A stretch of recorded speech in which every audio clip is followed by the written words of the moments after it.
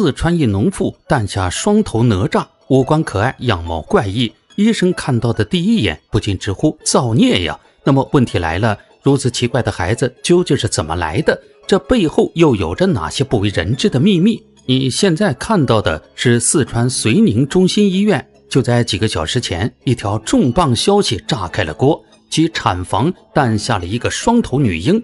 那造型与《封神榜》里描写的哪吒几乎一模一样，一时间谣言四起。有人说这是鬼胎，会啃噬鲜血，带来不祥。然而在镜头前，两个小家伙却呆萌可爱，脸贴着脸，正小心翼翼打量着这个世界。然而另一头，他们的爸爸廖国军此刻早已懵逼，就连妇产医生也表示，干了这么多年，别说见了，听都没听见过。只因为两个宝宝并非腹部相连，也非背部紧挨，而是共用一副身体，即便想人工分离，都找不到下刀点。情急之下，医生怒斥起了这对不负责任的父母：孕检时就没发现吗？让孩子活遭罪！可谁想廖国军却是满肚子委屈。原来早在怀孕六个月时，他曾带着妻子亲手推开了遂宁市第三人民医院的大门。做完彩超后，医院负责任的告知孕妇体内是单活胎，各项数据正常。听闻此话，全家人激动不已，当晚还出去聚餐庆祝。可谁料，接下来的剧情比电影都离奇。又过了几个月，当夫妇俩来到市妇幼保健院时，B 超结果出来的那一刻，医生当场就愣住了：怎么两个头一个躯体？望着报告单上那行刺眼的文字，廖国军夫妇吓得险些瘫倒。怎么会这样？是不是你们仪器坏了？怀着忐忑的心情，两人来到了更具权威的川大华西二院。结果显示，体内胎儿异常，属于连体双胎。更要命的是，此时距离分娩仅剩七天，已经错过了最佳产前诊断时间。事已至此，丈夫廖国军忍痛做出了选择：保大吧。可谁料，就在手术即将开始前，意想不到的一幕发生了。四川一农妇诞下双头哪吒，五官可爱，样貌怪异。医生看到的第一眼，不禁直呼造孽呀！二零一一年五月四号这天，产妇包乔英突然感觉肚子里翻江倒海，疼痛难忍。医生一查不要紧，竟然马上要生了。怀着复杂的心情，当天夜里九点零五分，廖国军亲眼目睹媳妇被推进了产室。彼时，门外早已挤满看热闹的人，产房内医生护士更是如临大敌，忙得汗流浃背。十点零四分，啼哭声响彻整个房间，一个双头女婴成功来到世上。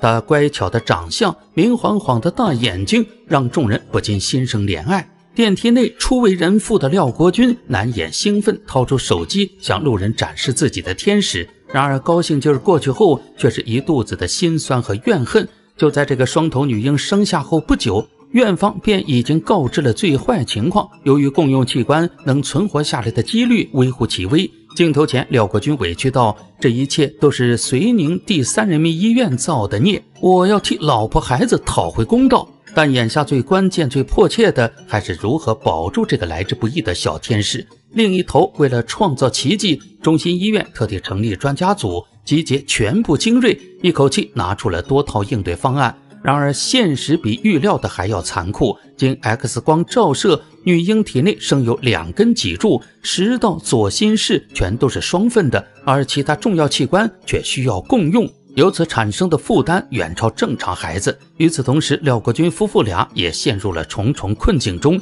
手术带来的巨额负债，早就压垮了这本就贫瘠的家。后续的康复治疗更是天文数字。更令人窒息的是，即便出院了，女儿该如何生活呢？顶着这样一副怪异的躯体，未来工作、结婚该怎么办？可一想起那是自己的生命延续，夫妻俩还是硬着头皮决定搏一把。四川一农妇诞下双头哪吒，五官可爱，样貌怪异。医生看到的第一眼，不禁直呼造孽呀！经过一番努力，小家伙的情况总算是稳住了。正当廖国军喜极而泣时，主治医生把他叫了过去，通知了一条噩耗：当下仅仅是保住了命，要想继续治疗，只能转去更大的医院。就在夫妇俩束手无策时，中心医院紧急联系了新桥医院。作为业内权威，这里有更加完备的设施和专家团队。在听闻了女孩的特殊情况后，新桥医院当即启动了前所未有的待遇，不仅连夜花费一百八十三万购买了先进仪器，而且还倾尽全力跑遍全国，